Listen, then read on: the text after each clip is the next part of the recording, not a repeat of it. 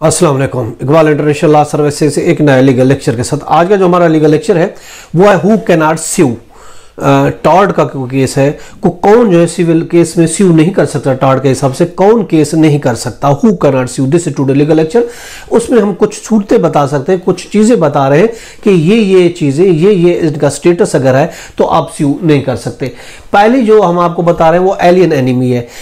Alien enemy under section 83 है CPC का। उसके तहत वफाकी हुकूमत की इजाज़त के बगैर एलियन एनिमी के खिलाफ हम स्यू टोडका के स्यू नहीं कर सकते।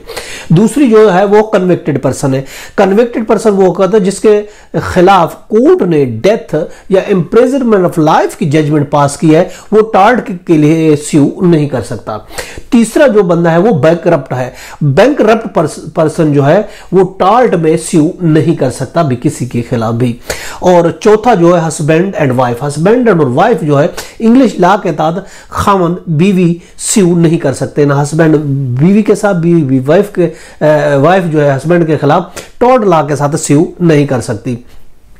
मैरिड वुमेन प्रॉपर्टी एक्ट के तहत बीवी स्यू कर सकती है, मगर खावन स्यू नहीं कर सकता, ये याद रखें। इसके अलावा पांचवी जो चीज़ बता रहे हैं स्यू करने के लिए लॉ ऑफ़ टॉड के तहत वो है कारपोरेशन कारपोरेशन को भी अख्तियार नहीं है कि लॉ ऑफ़ टॉड के साथ वो किसी के खिलाफ स्यू कर सकते हैं। इसके अलावा इन्फेंट जो है, जो माइनर है, जो छोटा बच्चा है, जो छठी हम सूरत बता रहे छठा वो इन्फेंट है, छोटा बच्चा वो भी डायरेक्ट जो है वो स्यू नहीं कर सकता। हाँ वो नेक्स्ट ऑफ़ किन के थ्रू गार्डियम एडलिटम के थ्रू स्यू कर सकेगा। मगर डायरेक्ट जो है वो, एक इन्फेंट जो है, वो जो माइनर बच्चा है अंडर 18 इयर्स का है, वो स्यू नहीं कर सकता।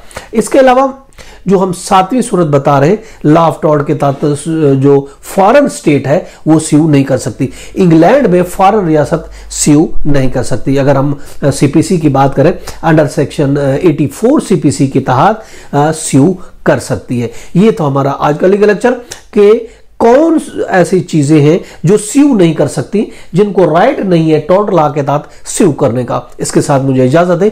कर फिर मिलेंगे एक नए लीगल लेक्चर के साथ। अपना ख्याल रखिएगा। अल्लाह हाफिज़।